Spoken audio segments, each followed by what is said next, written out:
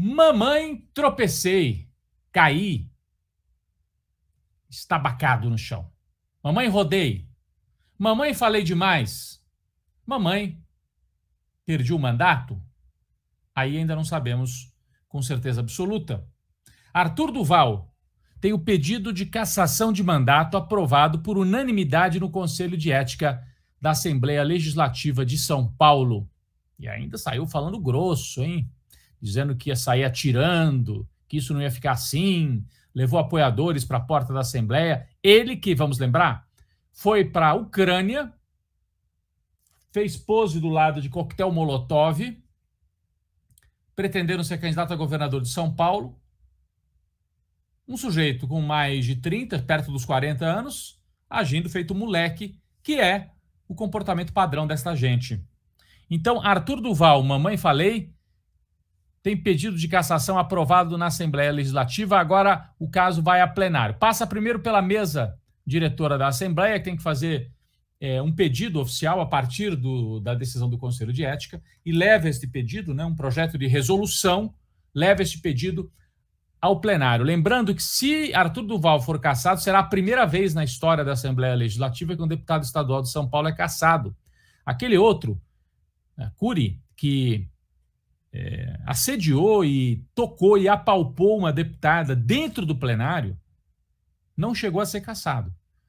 Teve um mandato suspenso por seis meses. E ali tinha vídeo, né? Foi absurdo. Tinha que ter sido cassado também. Mas, pelo visto, o Mamãe Falei não escapa. Até porque, além da gravidade do caso, ele tinha uma arrogância muito grande, porque ele se dizia da nova política. Então, ele tripudiava em cima dos colegas deputados principalmente deputados lá da direita, do, dos partidos conservadores, né? Bando de corruptos, eu é que sou o único puro aqui, o único limpo, e dançou. Dançou. Então vai para plenário.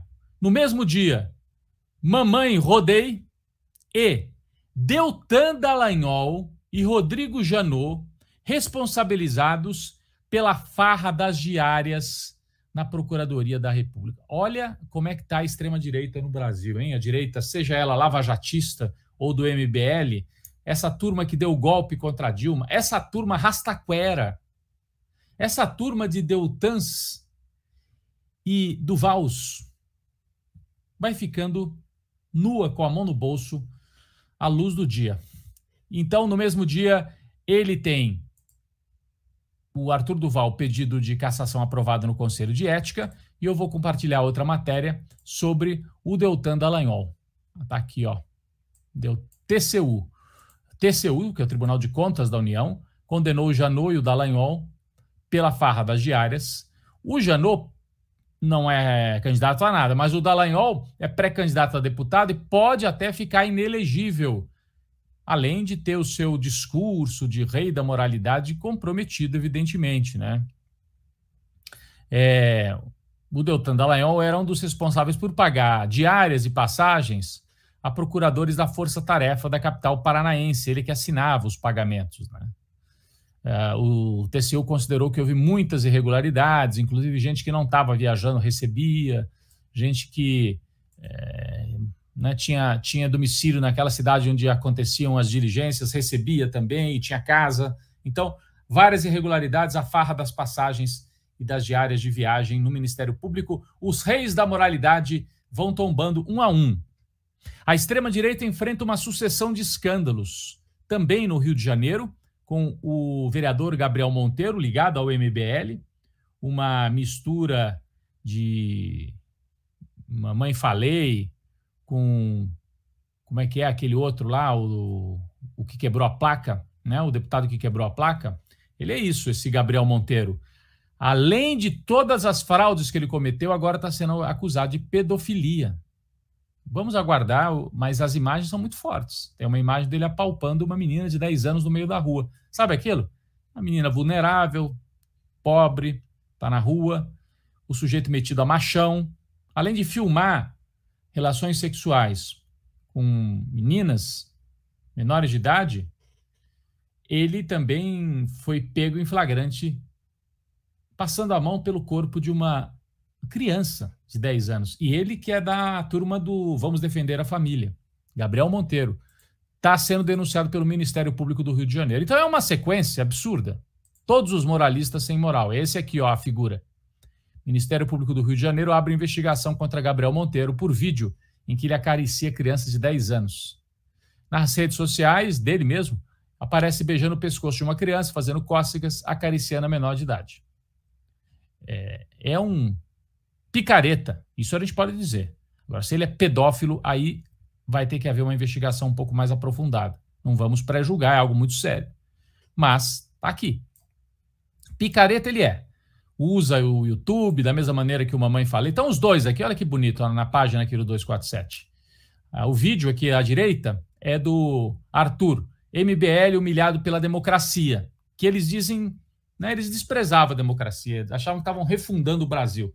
E afundaram, afundaram. Então aqui o Mamãe Falei, do lado esse rapaz que é policial de carreira.